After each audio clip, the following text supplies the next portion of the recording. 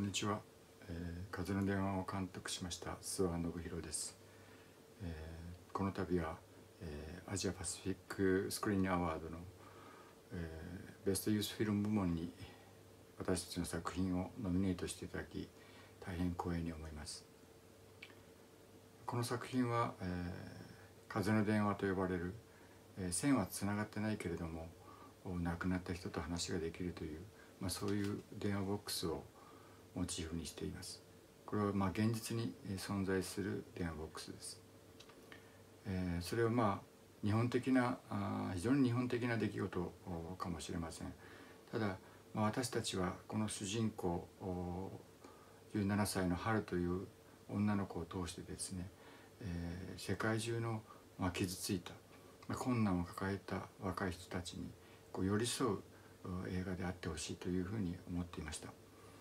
まあ、ですので今回、えー、ベストユースの部門に、えー、ノミネートしていただいたこととてもあの意義があることだというふうに、えー、感じています。